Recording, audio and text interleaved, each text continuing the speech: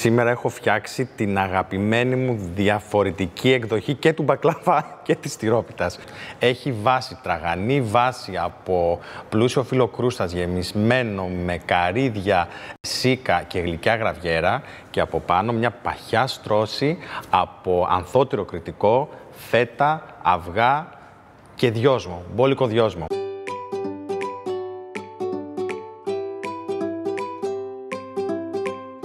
Η συγκεκριμένη ιδέα ξεκίνησε γιατί ήθελα να κάνω μια διαφορετική τυρόπιτα.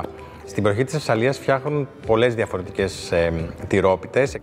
Ένα εξαιρετικό πρώτο πιάτο για ένα γεύμα ή για ένα δείπνο, αλλά εξίσου εντυπωσιακή είναι και γλυκιά της εκδοχή. Αν βάλω πάνω μπόλικο θυμαρίσιο μέλι, να τη μελώσει, να την κάνει λαχταριστή, να την κάνει απολαυστική και βεβαίως για να δώσουμε έτσι και ένα πιο έντονο χαρακτήρα που θεωρώ ότι ταιριάζει εξαιρετικά γιατί έχουμε μέσα σίκα, καρύδια, έχουμε φέτα, έχουμε ανθότυρο και μπόλικη κανέλα την οποία την αγαπώ πάρα πολύ.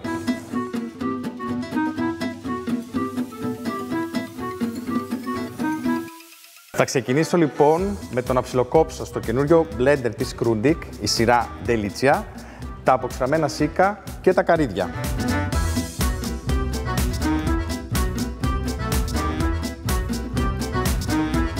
Αυτό που θέλω είναι ίσα ίσα να χοντροκόψω τα καρύδια.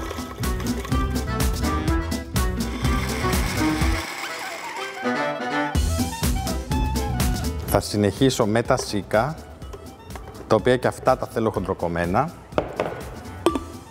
Έχει και πάρα πολύ ωραίο design. Έτοιμο. Γρήγορα, εύκολα, καθαρά με πολύ βαριά κανάτα η οποία μπορείτε να βάλεις μέσα και ζεστά αλλά και κρυά παρασκευάσματα. Πέντε φύλλα κρούστας. Ξεκινάω βουτυρώνοντας το ένα. Δεν χρειάζεται να βουτυρώσω όλη την επιφάνεια του φύλου. Θέλω απλά ίσα ίσα να βάλω λίγες πινελιές από λιωμένο βούτυρο. Καλό είναι το βούτυρο να το έχω λιώσει από πριν και να είναι κρύο. Όχι να είναι παγωμένο, αλλά να μπορώ να το διαχειριστώ εύκολα. Σε πολλές συνταγές και μάλιστα σε τυρόπιτες συναντάμε πάνω από ένα τυρί. Πολλές φορές και τρία διαφορετικά τυριά. Το κάθε τυρί έχει το δικό του χαρακτήρα, τη δική του ένταση, τη δική του γεύση. Στη συγκεκριμένη συνταγή βάζα ονθότυρο, το οποίο είναι ένα ήπιο τυρί, αλλά παράλληλα βάζω και μια πιο δυνατή φέτα σε ένταση και σε γεύση, γιατί νομίζω ότι είναι η, η ιδανική. Σε όλη την Ελλάδα φτιάχνεται ανθότυρο, αλλά νομίζω στην Κρήτη και λόγω του εδάφους και της ποικιλίας που έχει από αρωματικά βγάζει πάρα πολύ ωραία τυριά, ειδικά ανθότυρο και βεβαίως γραβιέρες. Για τη συγκεκριμένη πίτα, η αλήθεια είναι ότι το φύλλο κρούστας είναι το ιδανικό, διότι γίνεται πάρα πολύ τραγανό και στη βάση, αλλά και στην επιφάνεια της πίτας.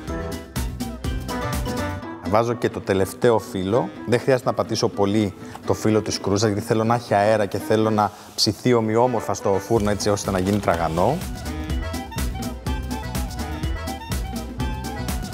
Προψύνω τη βάση γιατί αν βάλω από πάνω τη γέμιση δεν θα ψηθούν ομοιόμορφα τα φύλλα και δεν θα έχω τραγανό αποτέλεσμα. Εδώ στην ουσία θέλω να έχω υφές σε αυτή τη ρόπιτα.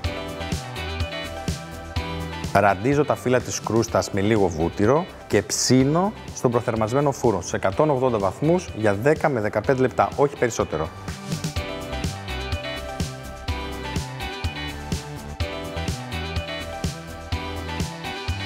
Φρέσκο γάλα για να είναι πιο ρευστή η πίτα.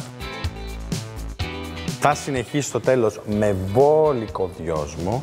Ταιριάζει εκπληκτικά με τη φέτα και κατευθείαν αδειάζω στο ταψί με την τραγανή βάση. Με τα υπόλοιπα φύλλα που μας έχουν περισσέψει θα έρθω και θα κάνω την επικάλυψη αυτής της διαφορετικής τυρόπιτας. Θα κόψω σε μεγάλα ακανόνιστα κομμάτια.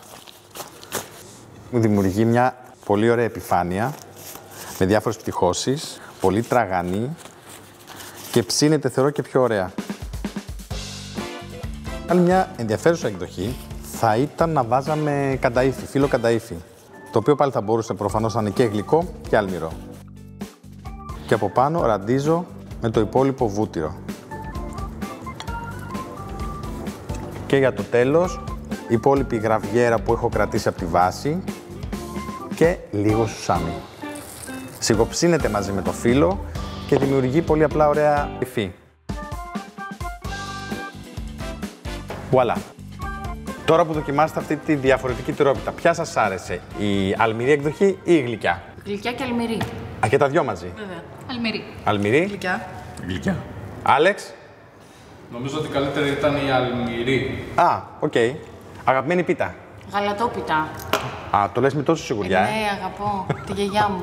Εσύ; Με πράσο και μανιτάρι. Ω, ωραία, μ' αρέσει η πρασόπιτα, αγαπημένη. Τυρόπιτα. Και εσύ; Σπανακόπιτα. Σπανακόπιτα, ε. Άλεξ; de uma lobita.